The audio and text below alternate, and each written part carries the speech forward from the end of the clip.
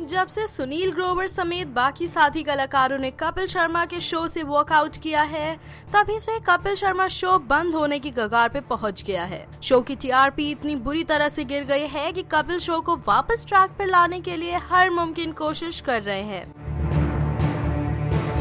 ऐसे में शो के साथ एक्ट्रेस मोनिका कैस्टलिना का नाम जोड़ा जा रहा है। एडल्ट फ़िल्मों में ये एक्ट्रेस शो में एक ग्लैमरस लड़की के किरदार में नज़र आएँगी।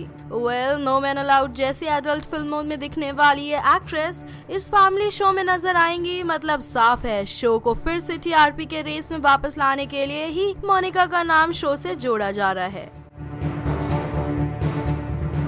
तो दोस्तों, आपका इस विषय पे क्या राय है? क्या आपको लगता है मोनिका कैस्टलिना के बावजूदगी से शो की लड़खड़ाटी टीआरपी फिर से वापस आएगी? हमें अपना सुझाव बताइए और कमेंट करिए। और भी मसालेदार बॉलीवुड अपडेट्स के लिए सिर्फ़ और सिर्फ़ बॉलीवुड स्पाई के साथ बने रहिए।